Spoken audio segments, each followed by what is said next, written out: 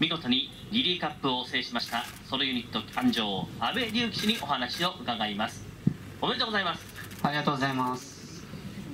圧勝でした。いかがでした？いや本当にすごい気持ちの強い走りをしてくれました。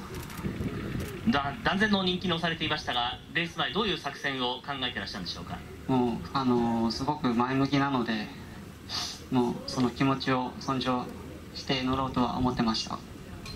2番手で運びましたが道中どんな感じでした？で外からずっとかぶせられてたんですけど、あのー全然力むことがなかったんでその、うん、そのポジションのままで行こうと思って乗ってました。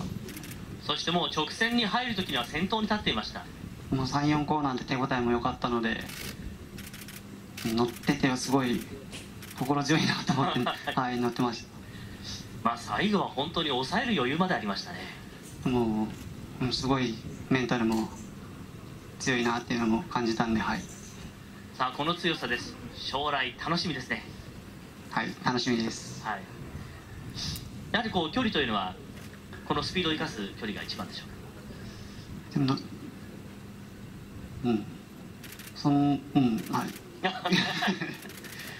そして阿部隆騎手自身はこのレース3勝目ということで非常に相性のいいレースだと思います。がい。や本当にいい本間さんに巡り会えて、はい、そのおかげです。そして角川調教師はこのレース10勝目だそうですよ。いや本当にこのレースは強いなと思う。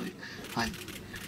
それでは最後に、えーテレビをご覧になっているファンの皆さんにぜひメッセージお願いします。はい。